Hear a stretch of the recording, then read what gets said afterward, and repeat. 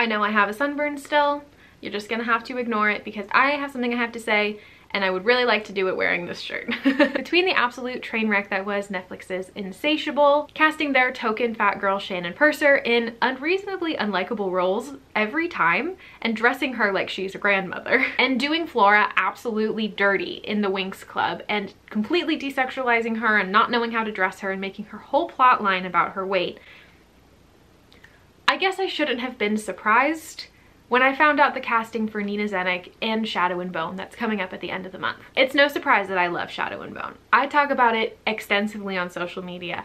The Grishaverse brought me back into reading and I am so grateful for the author Leigh Bardugo for creating this universe. It's brought me into reading, writing. It's been a great escape for me.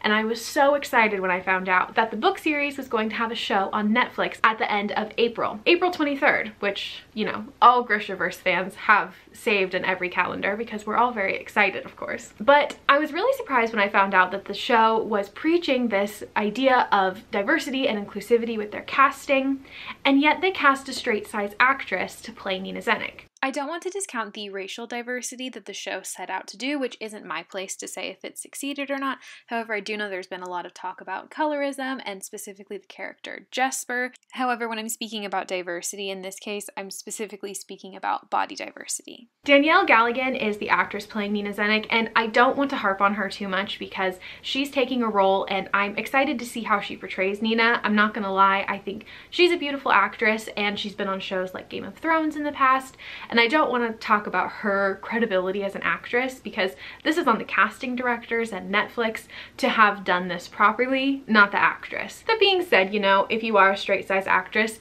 I recommend not going after plus size parts, but maybe the part wasn't advertised as a plus size part. Honestly, I would have cast Shannon Purser. Give her a sexy role because she can do sexy. Let's just say that. I want to talk a little bit about this, why it bothers me so much, why it's bothering the Grishaverse community so much, because we are all pretty heated and I want to say this up front, I'm still gonna watch the show. I'm so excited to watch it. I hope you're excited to watch it.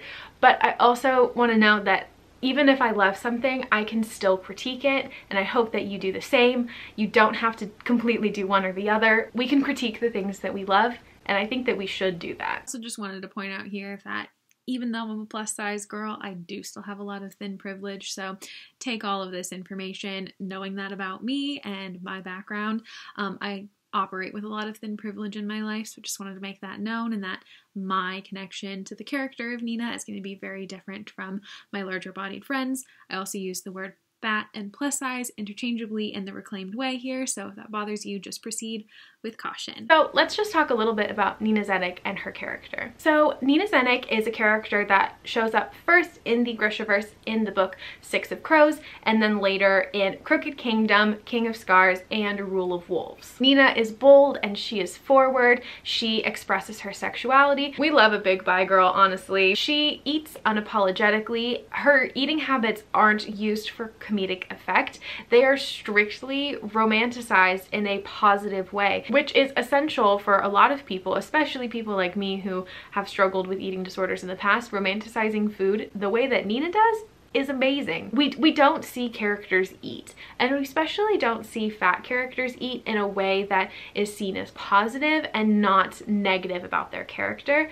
I love that Nina just enjoys food and it's it's very wholesome to me. I got my little waffle earrings here for Nina, specifically bought them because of Nina. I love that Nina has a complex history and past. She's very powerful and she has flaws. She's a very complex character. She's got a lot of nuance and I really encourage if you haven't read, if you've gotten this far in the video and you haven't read any of the Grishaverse or Six of Crows where Nina's introduced, I highly recommend doing so. She was a really big inspiration to me and I really enjoyed reading her. I want to talk about Nina's appearance because I know that especially in fantasy books there's this big push to not describe characters' appearances because if it's not relevant to the specific plot, then a lot of people consider not including it at all.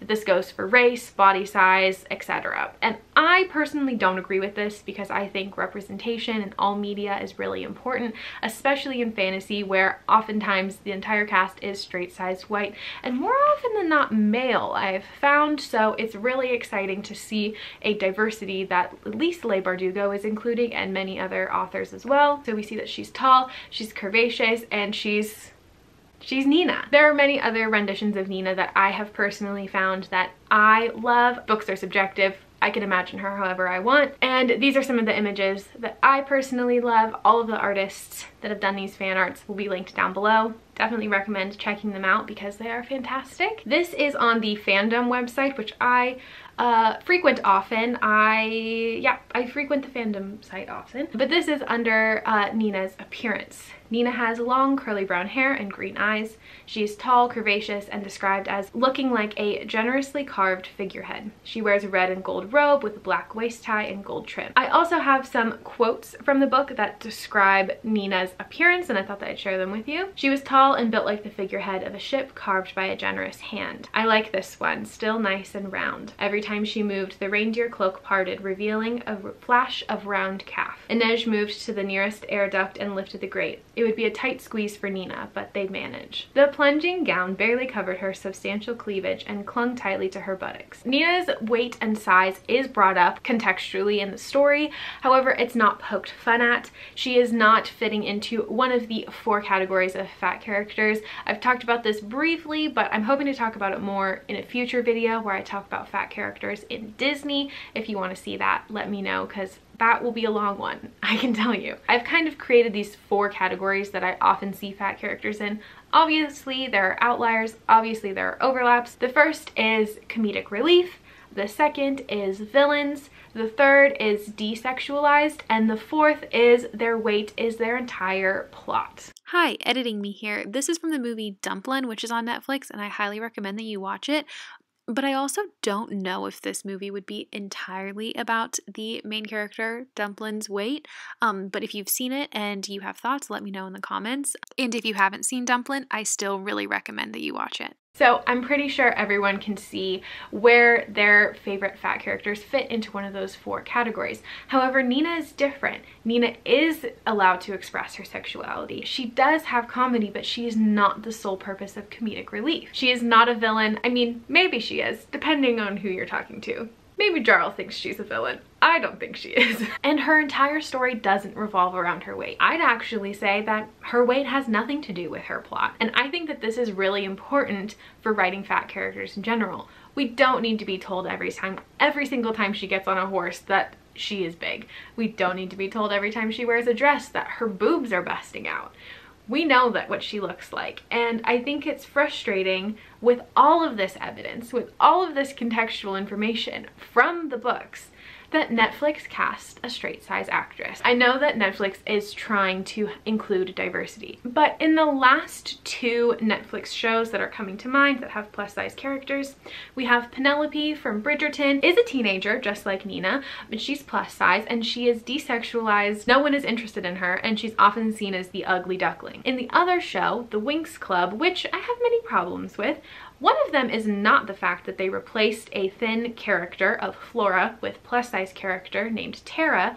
However, they completely stripped Flora's characteristics of being flirty and girly and gave Terra clothes like this which completely desexualized her. Most of her arc was about the fact that she is bullied for being different, and honestly, the costume designers really needed to up their game on this show in general. None of them know how to dress a plus size person, and that is infuriating to me. I There are so many better things they could have put her in. Also, not to mention the whitewashing with Winx Club. There's obviously a lot of problems with that. They could have cast a plus-size Latina character, and I think that would have been fantastic. There's intersectionality here. They didn't have to choose one or the other, but that's a completely different topic. We're talking about Nina here. My point is, I don't mind that they had a plus-size actress play a thin character from the source material. And you might be saying, Charley, isn't it the same thing if they have a thin actress play Nina Zenik?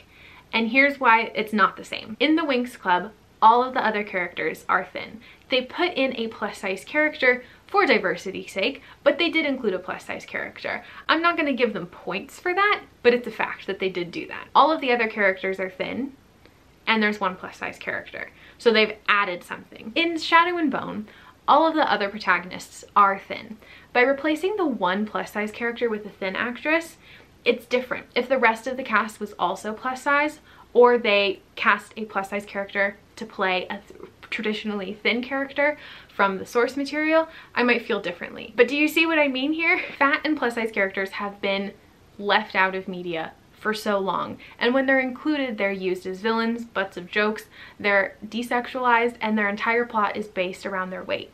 I know I said I love Dumplin', but the entire movie is about the fact that she is a big girl. And I would love to have a piece of media where the main character is fat and her storyline does not revolve around her being fat. And that's why I loved Nina so much because there was so much going on with her as a character. And by casting a thin actress, it takes away that representation for all of us who loved Nina so much. I know many people truly love Nina as a character and I asked on my Instagram for everyone who does love Nina to include some of their favorite things that they love about her and so many people were saying how she didn't demonize food. Her body wasn't demonized. She wasn't villainized because of the way that she looked. She was able to explore her sexuality and herself without becoming a caricature of a fat person. Nina was able to exist wholly as a complex and nuanced character and she was also fat that's why I'm so frustrated about this Netflix show. They had a great opportunity to cast a fat actress and many roles for fat actresses don't have such amazing source material as Nina does. Like I said, I'm still going to watch and probably really enjoy the show regardless. I really hope the actress that plays Nina, Danielle, understands the role that she's stepping into and knows the importance that it carries for the viewers and readers alike and how much Nina means to us because I think that that's missing in this conversation of casting a thin actress in a plus size role because obviously there are moral issues with that.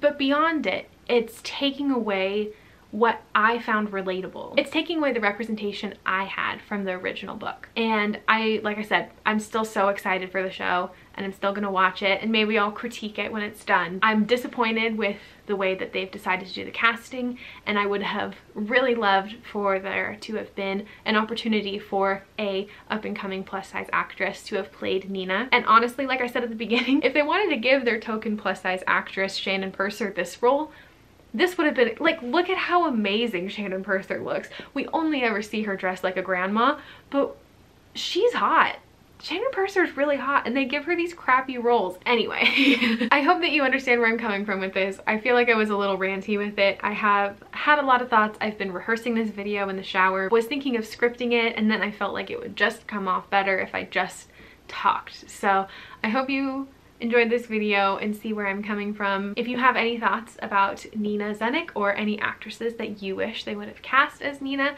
please leave them down below because I'd love to check them out. Thank you so much for watching. I hope you enjoyed this video and I'll see you in the next one. Bye!